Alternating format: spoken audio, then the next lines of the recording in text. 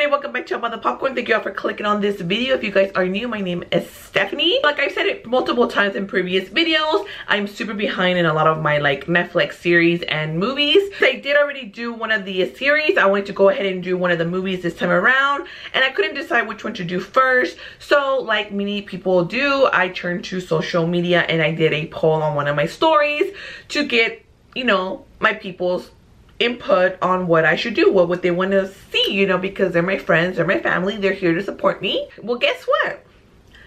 My people suck. Nobody voted. Well, anyway, so I thought that I would do something fun. And so I ended up uh, writing down all the uh, movies. So I'm gonna go ahead and put it in this little bowl. We're gonna shake it up. And we're gonna see this Russian roulette movie review who's going to win. Right here let's see here. We're gonna go ahead and get this one right there. We're going to open it and see what I'm going to review today.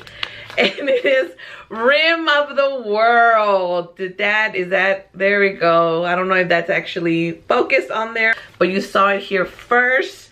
So let's go ahead and get on with this review let's see how well this goes because it's been a minute since I've seen this. Rim of the World is a fun, like adventure, like dumb movie. I'm not even gonna lie, you know, and the movie knows what it is. Basically a alien invasion and the fate of the world lies on these four like misfit kids. Uh, we have Alex, which is like the scared of everything kid. We have Darius, which is possibly the funniest one from the group. He's basically the rich kid. We have Gabriel, um, who is basically like the the bad kid um and of course you know when there's a bad kid there's always a reason why he ends up being that he is dyslexic. Because of his dyslexia is what kind of their point was to give the audience a oh okay so we're gonna kind of like excuse you know like your misbehavior. You know they had to throw a girl in the group and her name is Zhen Zhen and she's coming all the way from you know the other side of the world to come to this particular camp. Next you know like all the military jets are like flying in. the time that they make it back to where their group is supposed to be, they're they're left. They they left them, you know, everybody else was like picked up, you know, gone to safety or possibly killed. We don't really know. I don't think they ever really said. We do end up seeing these um, Demogorgon type aliens. They end up finding military people or was it an astronaut? I think he came from outer space actually because he was like in this tank. Uh, basically they end up having this key that needs to be taken I don't remember where you guys. And It needs to be taken somewhere to be able to stop basically the alien invasion, okay? It's basically the kid's job to get this key to where it needs to go or at least get it to the adults so they can do what they need to do. You might be wondering why this adult gave these kids the key. Well, the adult was dying know these kids are on a journey to try to take this key where it needs to go to or try to find some adults which they do ultimately find the military. They gave them the key and then um, they're on their way. They're like okay we're good. We're like yes we're gonna go. We're gonna go into safety. Well the aliens attack them guess what the military does?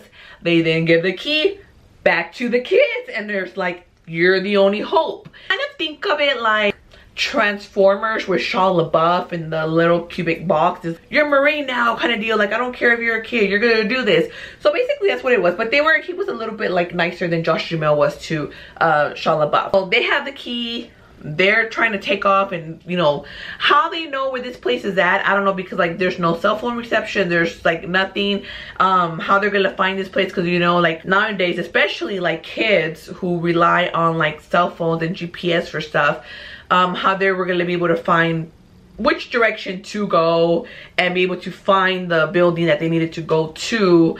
I mean, I don't know because honestly, I wouldn't even have known. Like, if you if you tell me I gotta go north, guess what? I'm one of those people of I'm standing this way, this is north. And then now they're on the journey to get to this building to try to get this key. And of course, there's this big ass Demogorgon looking thing that is chasing them. also get this scene that really reminds you of Jurassic Park when they're in the kitchen. The plot, you know, it's ridiculous. Um, the storyline is not the best.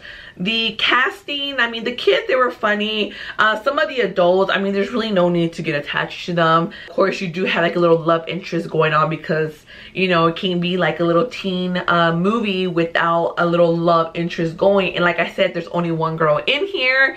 So now if you haven't seen it, it's like which one of the three boys is she going to have the love interest with? If it takes a lot for you to laugh, this movie is not for you. You literally have to be one of those that just laughs at everything, which is me. That's like, I mean, why be bitter all the time? you know just like be happy and like laugh i'm not even gonna go really much into it I haven't seen it i honestly do recommend for you to see it. I think it's a really funny movie. This movie is not for everybody. Annette this movie is not for you. If this was something that was in theaters i wouldn't recommend you to watch it. Um i don't think it's worth your money to see in the theater. But you know just like on a rainy day or just like a lazy day you know you have gone and watched like all your shows. You're like what to watch next? Give this movie a shot you know? I mean you yeah you may not like it but, but um that's all i have to say about the rim of the world i hope you guys enjoyed this review what did you guys think about my little russian roulette movie pick you guys actually knew before I did. Before you guys click out of the video, don't forget to give it a like. Subscribe to my channel if you haven't yet. Don't forget to hit that notification bell so you'll be notified each time that I post something new. And until next time, I'll be seeing you guys at concessions. Bye.